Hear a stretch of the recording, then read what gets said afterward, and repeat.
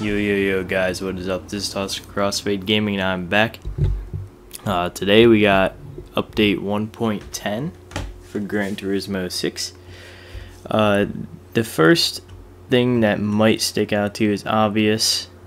The two new Vision Gran Turismo cars, uh, which we'll go check out now. Uh, you got the Aston Martin, which I think it's going to show the video now. It's And the shape, I'm right. the form, the proportion. It's our iconic grill shape. It's the balance and integrity of materials. It's beautiful, crafted, sculpted. It's something groundbreaking that no one's seen before. Yeah, we were allowed to break the rules somewhat with this one. It really showcases what Aston Martin is all about. Power, beauty, and soul. DP100 is something very, very special for Gran Turismo.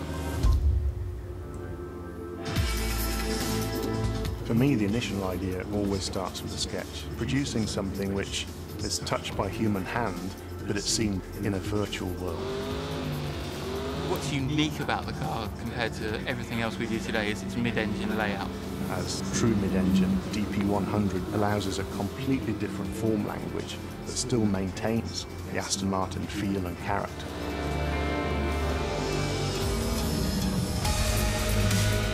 We've effectively used the same processes, the same principles to design this car for the game that we would in putting a car on the road. So all the shape and the form had to be real.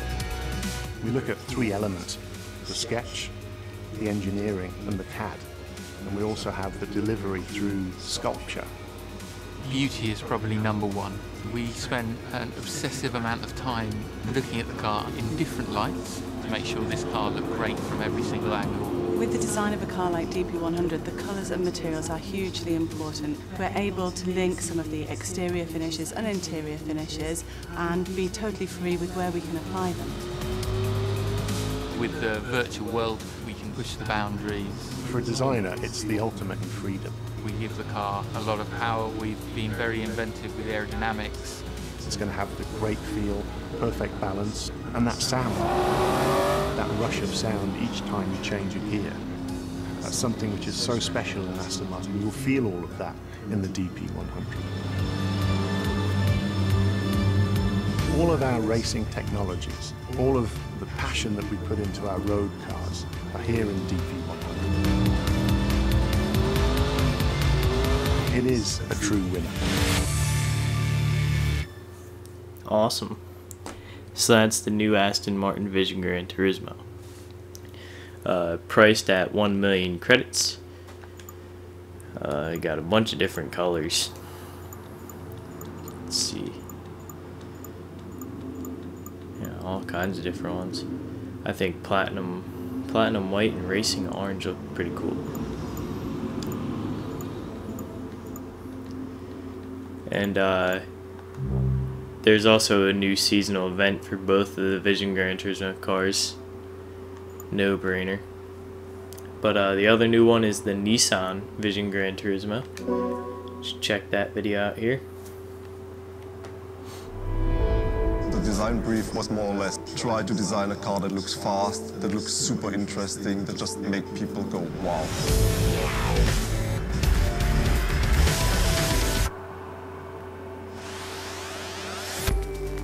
Vision GT is a very exciting global project and it's fabulous for us to get the chance to express our design for a future concept in the game. The concept 2020 is basically what every designer always dreams about. It was super exciting to work on a project with no boundaries at all. The designer had a kind of initial line drawings, and we actually skipped all the clay model stages and then doubled it directly to digital. We could really understand the form using our Powerwall screen, using technology to bring this future concept into reality We can use pure aerodynamic performance for the first time, and that is going to add a huge advantage in the game itself. タイヤとキャビンの間に風を通すようにして必要最低限の空気の切り裂き量にしてえー空気抵抗低減を図っています You have this strong front fender connected to it, very round, very sculptural. And then in contrast, the rear fender, which is more constructed and more wing-light, very lightweight. When you need to have a high downforce, the actual rear wing is adjustable. So it's automatically elevate the height of the wing. When you're driving this car, you're really going to feel fantastic acceleration. You get this feeling of energy that just surrounds you. It's super extreme, super low, super wide, but also very aerodynamically refined. It's like a jet fighter grounded on the road. With all this energy and excitement, this innovation, this is still very obviously a Nissan. And there is the Nissan Vision Gran Turismo. And I'm pretty sure it's, yep, priced at 1 million credits again. And then, like I said before, most likely going to have a seasonal event for both of these. Uh, let's just see which one looks cool. The dark blue looks pretty hot. Nightshade looks pretty cool. But yeah, there's the Vision Gran Turismo Nissan. But we also have another cool feature which I was pretty like I don't know. It, it was interesting. I, it was new, different, I guess. But if you have racing brakes installed on your car and you go to paint, uh, you can actually paint your brake calipers, which was a pretty cool addition. Caught me by surprise. Uh, but if you also look near the front wheels, uh, you can now change the well obviously you could change the view around like that before but now you can do full screen and you can hold it and rotate it like this and stuff that's another new addition as well but we I like the little uh, I think it's cool you can now paint your brake calipers if you see them in there changing when I uh, change color here let me put a bright color on you see the red in there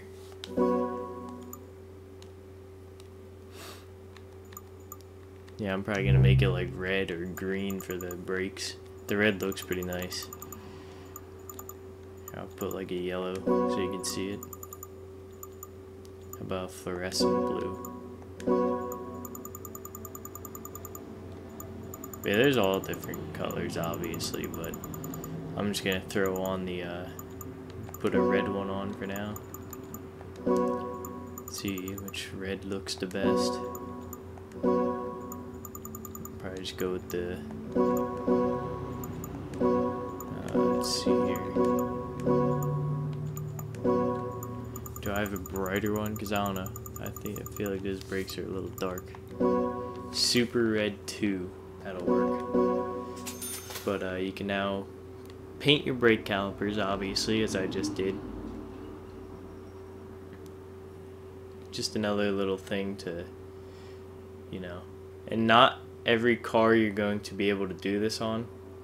Uh, I'm not sure what cars it's not able to, but I'm assuming all premium cars are going to be able to do that. But some of the standard cars or whatever, like race cars maybe, I feel like you won't be able to change it. Let me go try a standard car quick. Uh, where's one of my standard cars at? Alright, well, this car is a standard. The Aristo. I can change the brake caliper paint on this.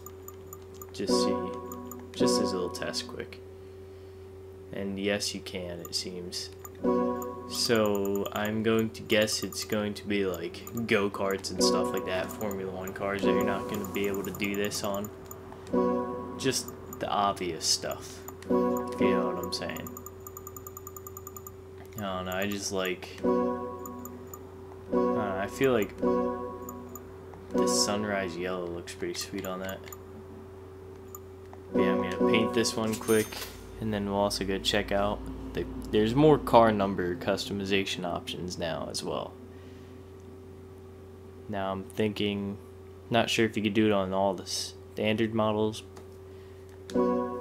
pretty sure. Should be able to, but we'll go check that out quick. Uh, be in garage. Now, standard model cars looks like it's a no-go for driver number.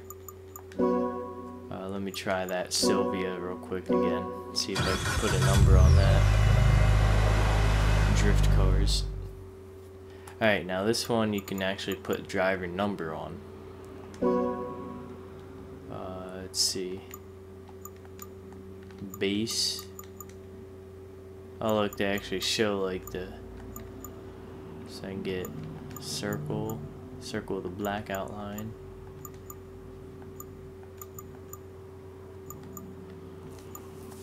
Interface. It's just the way the number looks. Now my number for everything is 34. I don't know why, but I just like it, I guess. Then I guess that could be cool too, because you could have like drift teams and shit would be cool to see that on. Like I'm just gonna leave it like that. And there's another change that I'm not actually going to show because it's kind of hard to show, but engine brake reduction control on Formula cars is now disabled. Which, like, when you're slowing into a corner and you let off the gas, there's usually like that weird, I don't know, just weird. But I guess that's gone now. I'm not too sure, but I don't really race Formula cars anyway. I'm a drifter. so, uh, yeah, that's the 1.10 update, guys. And, uh, I will be posting this on GT Planet as well. I'll put a link to all those, like the GT Planet webpage and stuff.